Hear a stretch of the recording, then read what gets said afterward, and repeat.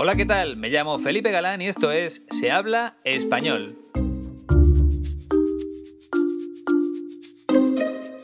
Bienvenida o bienvenido al episodio número 95.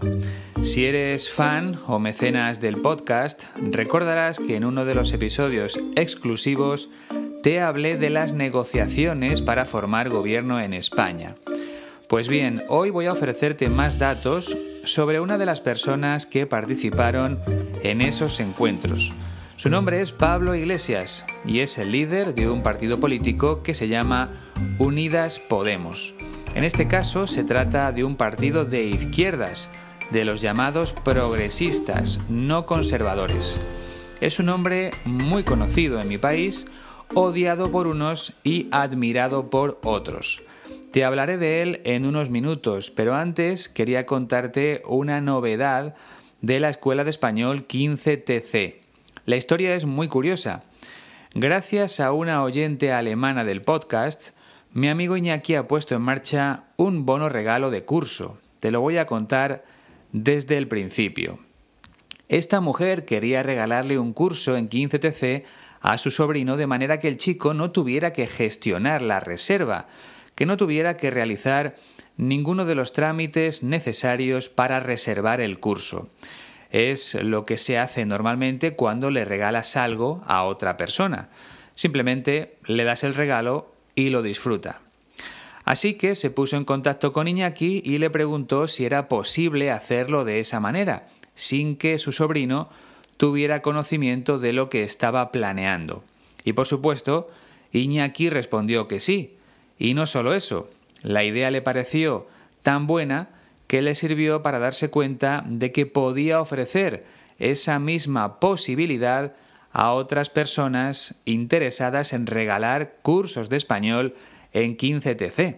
Así que ya lo sabes, si quieres darle una sorpresa a tu marido, a tu mujer, a tu novio, a tu novia o simplemente a un amigo, puedes hacerlo con un bono regalo. Llamas a Iñaki, le dices qué tipo de curso quieres regalar y listo. Es la forma de que esa persona ni siquiera sepa cuánto dinero te ha costado el curso. Esa información queda entre tú e Iñaki. Nadie más tiene que saberla. La verdad es que a mí tampoco se me había ocurrido, pero es algo que puede funcionar bastante bien y te voy a explicar la razón. No sé si a ti también te pasa lo mismo. En mi caso, cuando quiero comprarme algo, siempre miro antes el precio. Y eso hace que muchas veces no lo compre porque prefiero gastarme ese dinero en mis hijos o en mi mujer, por ejemplo. Pero claro, como mi mujer me conoce muy bien y sabe que no me lo he comprado por ese motivo, luego va ella y me lo regala otro día. ¿Qué quiero decir con esto? que si conoces a una persona con muchas ganas de mejorar su español, quizás sea una buena idea regalarle el curso en 15TC sin que ella se entere de nada. Seguro que le hace mucha ilusión recibir un regalo tan bueno como ese. Y quién sabe, a lo mejor esa persona te regala otro curso a ti. Sería maravilloso, ¿no te parece? Te propongo una cosa, ponte en contacto con Iñaki y pregúntale cómo se hace. Es muy fácil, todo empieza enviando un mensaje a la siguiente dirección de correo electrónico info 15tc.es.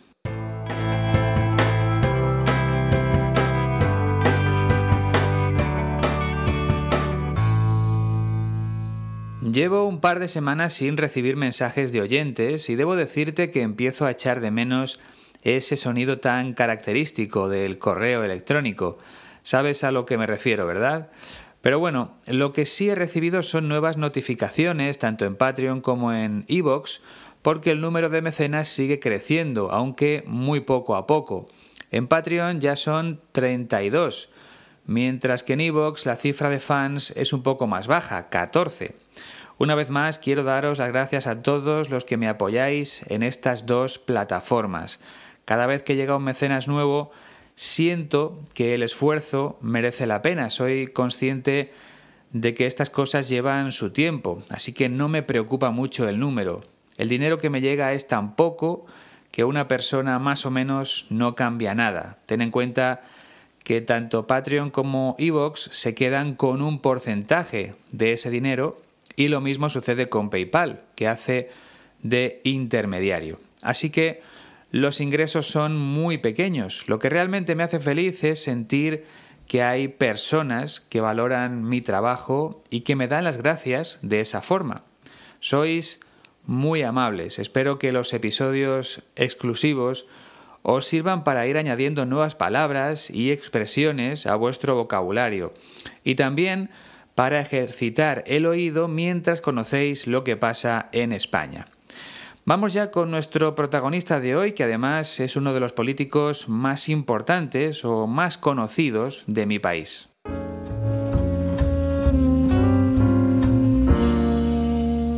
Pablo Iglesias nació en Madrid el 17 de octubre de 1978. Eso quiere decir que en unos días cumplirá 41 años. Su madre era abogada en un sindicato de trabajadores y su padre era profesor de historia. Iglesias pasó su infancia en Soria, una ciudad que pertenece a la comunidad autónoma de Castilla y León.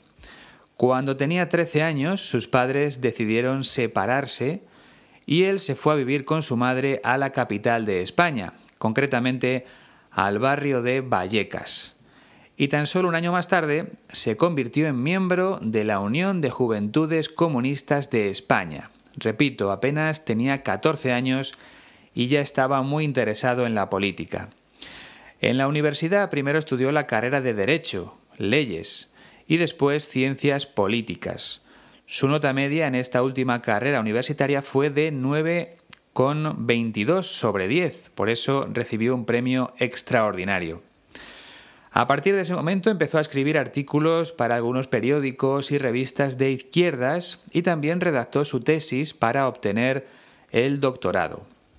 De esa forma empezó a trabajar como profesor asociado en la Universidad Complutense de Madrid en el año 2008 y casi al mismo tiempo inició algunas aventuras como presentador de tertulias políticas en televisión aunque en cadenas poco conocidas y sin apenas audiencia, con pocos espectadores.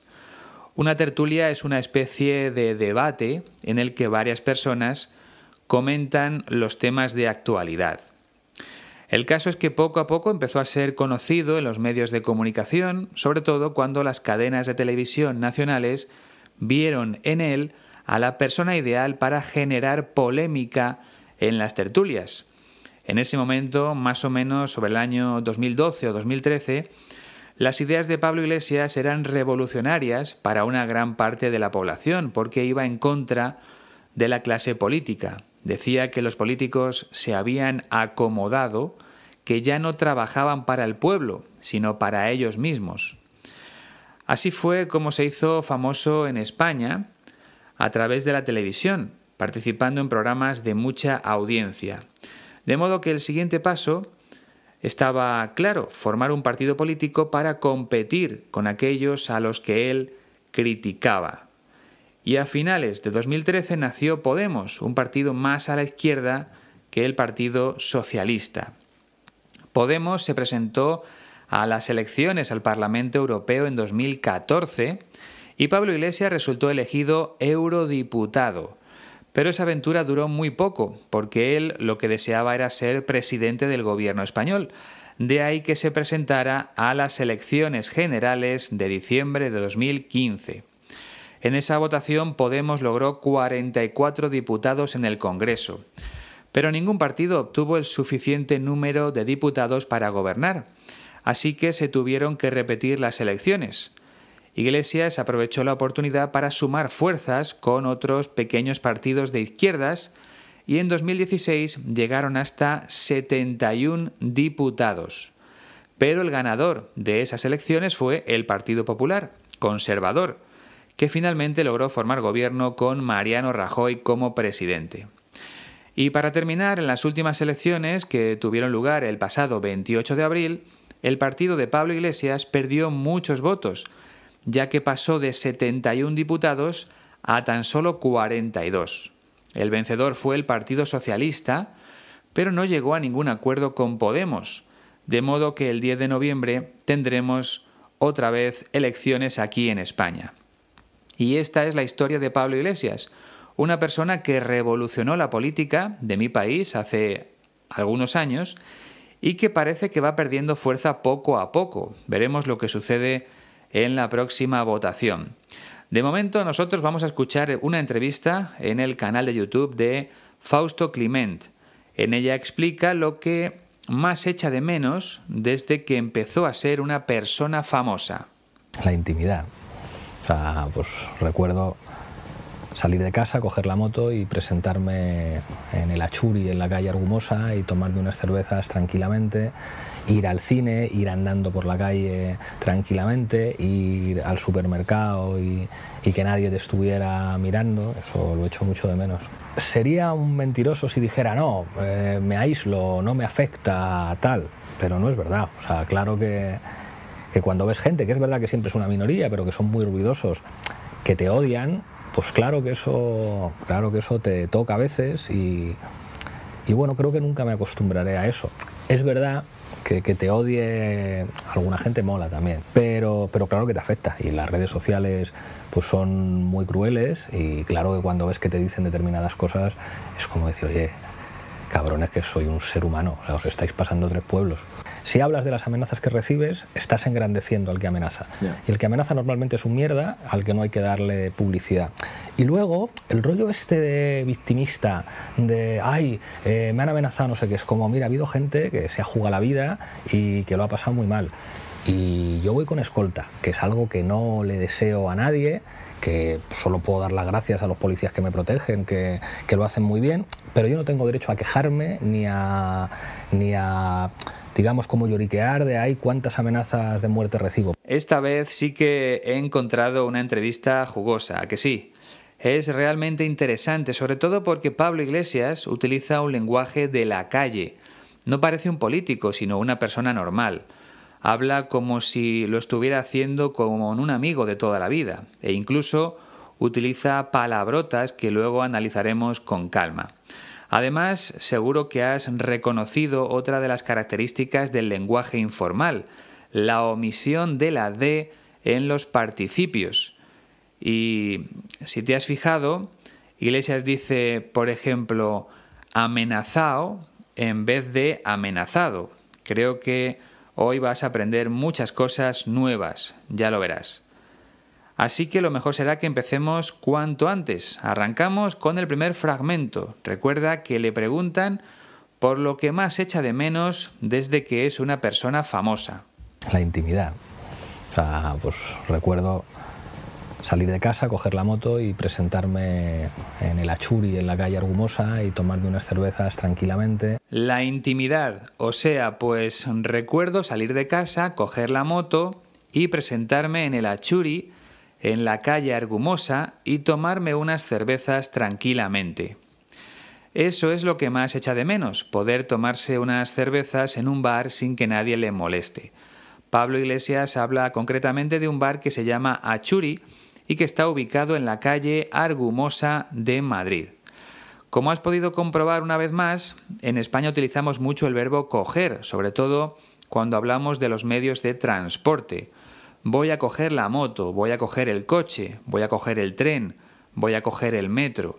También se puede usar el verbo tomar. Voy a tomar el autobús. Pero aquí en España es más habitual coger. En otros países no se usa tanto porque tiene un significado sexual que ya te conté hace tiempo. En el segundo fragmento sigue hablando de las cosas que echa de menos ir al cine, ir andando por la calle tranquilamente, ir al supermercado y, que nadie te estuviera mirando, eso lo echo mucho de menos. Ir al cine, ir andando por la calle tranquilamente, ir al supermercado y que nadie te estuviera mirando, eso lo echo mucho de menos. Bueno, aquí no hay ninguna palabra complicada, así que pasamos al tercer fragmento. Sería un mentiroso si dijera, no, eh, me aíslo, no me afecta tal, pero no es verdad. Sería un mentiroso si dijera, no, me aíslo, no me afecta tal, pero no es verdad. Aquí estamos ante una oración condicional del tipo 2. Si dijera que no me afecta, sería un mentiroso. Por un lado, pretérito imperfecto de subjuntivo. Si dijera que no me afecta.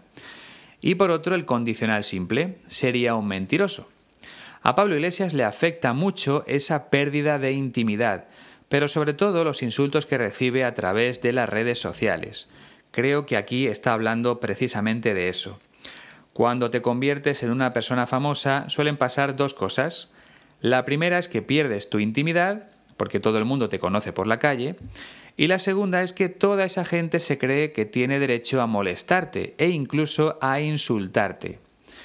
Bueno, pues Pablo Iglesias no puede aislarse de todo eso.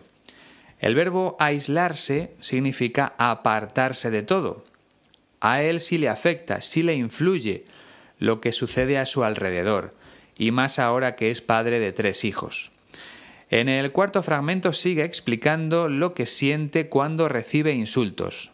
O sea, claro que, que cuando ves gente, que es verdad que siempre es una minoría, pero que son muy ruidosos, que te odian, pues claro que eso, claro que eso te toca a veces. O sea, claro que cuando ves gente, que es verdad que siempre es una minoría, pero que son muy ruidosos, que te odian, pues claro que eso, claro que eso te toca a veces.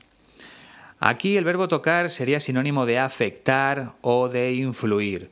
Pablo Iglesias dice que la gente que le insulta o que habla mal de él es una minoría, pero que a la vez es una minoría muy ruidosa.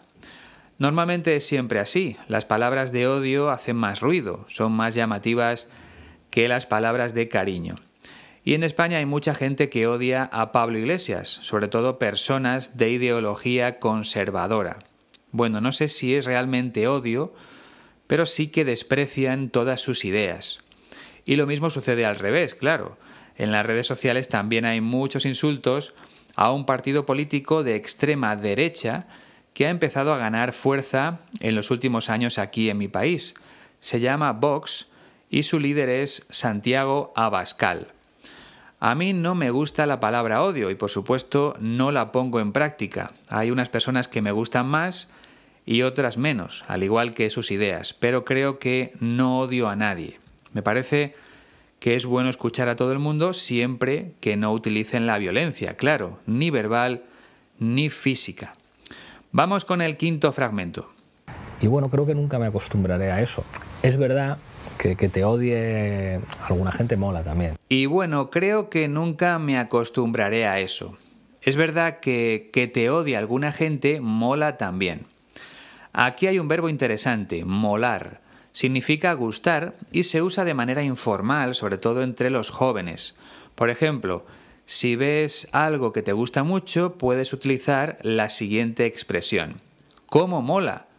o mola mucho. En una pregunta sería así.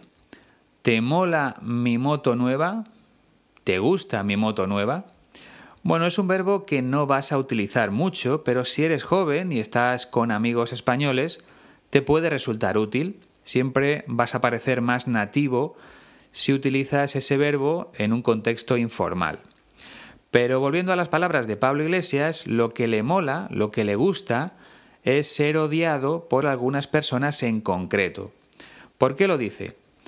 Aunque no cita su nombre, creo que se refiere a un periodista de ideología conservadora que también es muy famoso en España.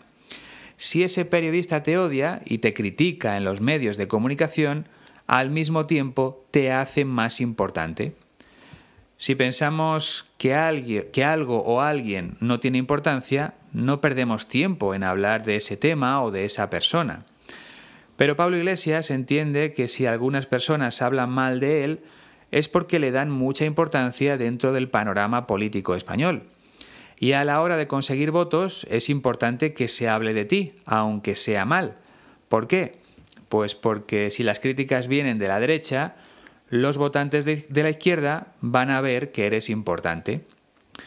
En el sexto fragmento se centra en las críticas que le llegan a través de las redes sociales pero, pero claro que te afecta y las redes sociales pues son muy crueles y claro que cuando ves que te dicen determinadas cosas es como decir, oye, cabrones que soy un ser humano, os estáis pasando tres pueblos. Pero, pero claro que te afecta y las redes sociales pues son muy crueles y claro que cuando ves que te dicen determinadas cosas es como decir, oye, cabrones, que soy un ser humano, o sea, os estáis pasando tres pueblos. En estas frases hay dos cosas de las que me gustaría hablarte. La primera es la palabra cabrones, que es una palabrota o una palabra malsonante. Ya sabes que yo no te aconsejo usarlas salvo en contextos muy informales. La palabra cabrón se utiliza para referirnos a una persona que se ha portado mal contigo, que te ha hecho daño con su comportamiento.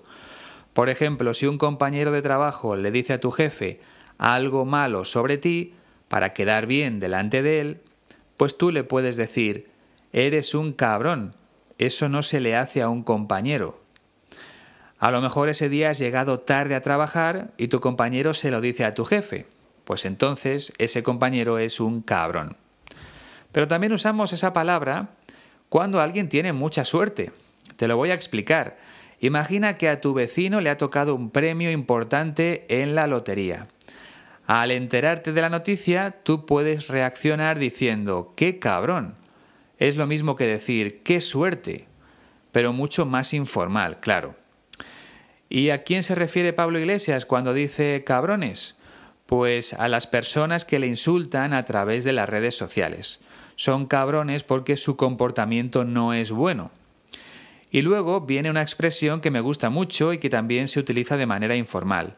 Os estáis pasando tres pueblos. Se usa cuando algo sobrepasa o supera lo normal. Te voy a poner varios ejemplos para que lo entiendas mejor.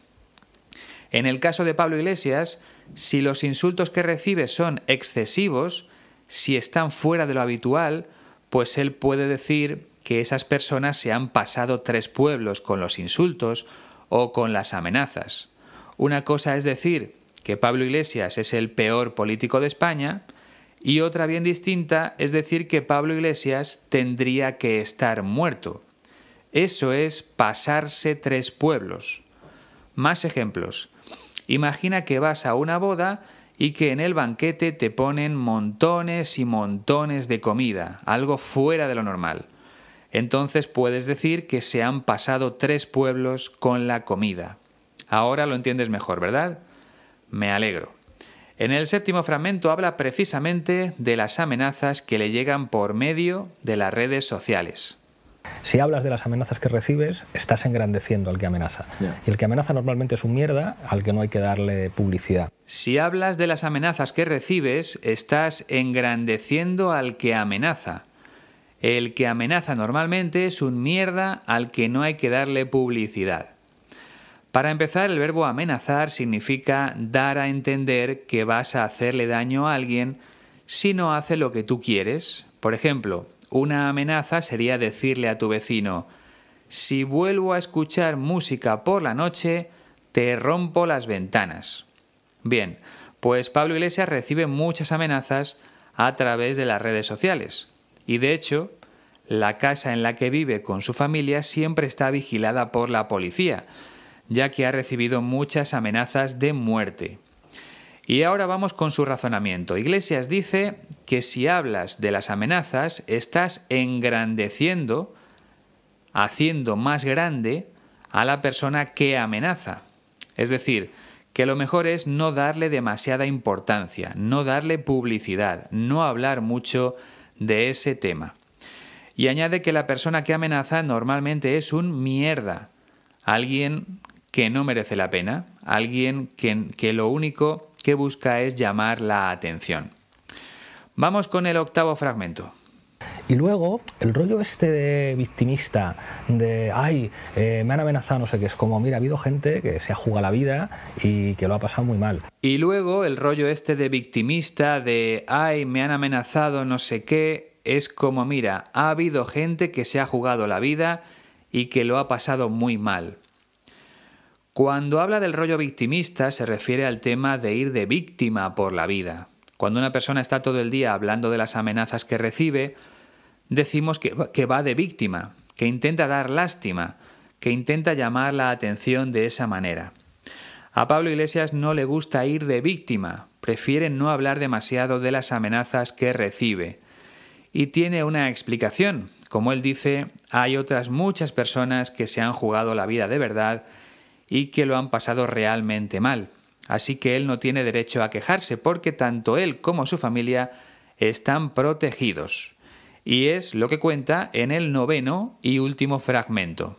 Y yo voy con escolta, que es algo que no le deseo a nadie, que solo puedo dar las gracias a los policías que me protegen, que, lo hacen muy bien, pero yo no tengo derecho a quejarme ni a, ni a digamos, como lloriquear de ahí cuántas amenazas de muerte recibo. Y yo voy con escolta, que es algo que no le deseo a nadie, que solo puedo darle las gracias a los policías que me protegen, que lo hacen muy bien, pero yo no tengo derecho a quejarme, ni a, digamos, como lloriquear de, ay, cuántas amenazas de muerte recibo. Creo que la única palabra nueva es escolta. Ir con escolta es hacer tu vida con una o varias personas de seguridad a tu lado. La escolta es el grupo de personas que protegen a otra, normalmente famosa. Y Pablo Iglesias va con escolta desde hace tiempo debido a las amenazas de muerte que recibe. Y aprovecha la entrevista para darle las gracias a esos policías que le protegen tanto a él como a su familia. Por cierto, él dice que son policías, pero también pueden ser escoltas privados de una empresa que se dedique a la protección de personas. Por último, como imaginarás, el verbo lloriquear significa llorar como un niño, normalmente sin una causa justificada. Él dice que no tiene, derecho a lloriquear por las amenazas, sobre todo porque ya tiene escolta y en principio su vida no corre peligro. Bien, pues presta mucha atención porque vamos a escucharlo por última vez. La intimidad. O sea, pues recuerdo salir de casa, coger la moto y presentarme en el Achuri, en la calle Argumosa, y tomarme unas cervezas tranquilamente, ir al cine, ir andando por la calle tranquilamente, ir al supermercado y, que nadie te estuviera mirando, eso lo echo mucho de menos. Sería un mentiroso si dijera, no, eh, me aíslo, no me afecta tal, pero no es verdad. O sea, claro que, que cuando ves gente, que es verdad que siempre es una minoría, pero que son muy ruidosos, que te odian, pues claro que eso, claro que eso te toca a veces y, bueno, creo que nunca me acostumbraré a eso. Es verdad que, te odie alguna gente mola también, pero, pero claro que te afecta y las redes sociales pues son muy crueles y claro que cuando ves que te dicen determinadas cosas es como decir, oye, cabrones que soy un ser humano, o sea, os estáis pasando tres pueblos. Si hablas de las amenazas que recibes, estás engrandeciendo al que amenaza. Y el que amenaza normalmente es un mierda al que no hay que darle publicidad. Y luego, el rollo este de victimista, de, ay, eh, me han amenazado, no sé qué, es como, mira, ha habido gente que se ha jugado la vida y que lo ha pasado muy mal. Y yo voy con escolta, que es algo que no le deseo a nadie, que solo puedo dar las gracias a los policías que me protegen, que, que lo hacen muy bien, pero yo no tengo derecho a quejarme ni a, ni a digamos, como lloriquear de ahí cuántas amenazas de muerte recibo. Yo lo que quiero recibir son mensajes, correos electrónicos, así que apunta esta dirección y escríbeme lo antes posible. Se habla gmail.com. También puedes hacerlo a través de las redes sociales. Además, recuerda que la transcripción completa de este episodio ya está disponible en la página web de la Escuela de Español 15TC, www 15tc.es. Y por último, si deseas convertirte en mecenas de Se habla español, te dejo los enlaces directos a Patreon y a iVoox en la descripción. Tu apoyo es muy importante para que este proyecto siga vivo durante muchos años. Y nada más, si eres fan del podcast, hasta el próximo domingo con un nuevo episodio exclusivo. Y si no, hasta dentro de dos semanas con una nueva entrega del podcast habitual. Ha sido un placer. Hasta la próxima.